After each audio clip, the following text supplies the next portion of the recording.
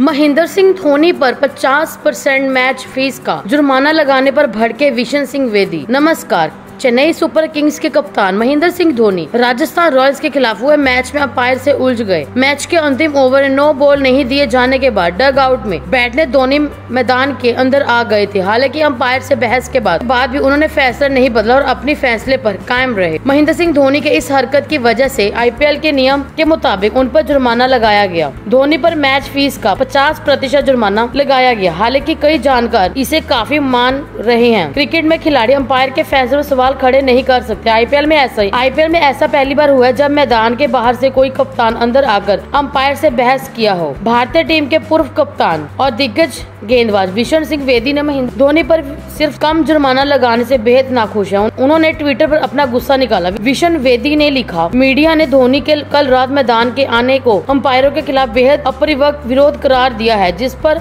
मैं हैरान हूँ। मेरे लिए ये अबूझ पहली है कि खेल पत्रकार गलती करने वाले स्थापित सितारों के खिलाफ ईमानदारी अव्यक्ति करने से क्यों बचते हैं? यहाँ तक अधिकारियों का भी धोनी के प्रति डरपोक रवैया अपनाकर 50 प्रतिशत जुर्माना लगाकर बचकाना है। इसके बाद पूर्व भारतीय ने एक और ट्वीट डाला। उन्होंने लिखा कि कोई भी खेल से बड़ा नहीं हो सकता। बेदी, इससे पहले भी कोई मौके पर महेंद्र सिंह धोनी पर निशाना साधते हुए उन्होंने लिखा। दोस्तों, अगर आपको हमारी ये जानकारी अच्छी लगी तो कमेंट करके बताएँ। लाइक और शेयर ज़रूर कीजिए। और आगे भी ऐसी खबरें देखने के लिए हमारे चैनल को सब्सक्राइब करना ना भूले, क्योंकि हम हर रोज ऐसी खबरें आपके लिए लाते रहते हैं। धन्यवाद।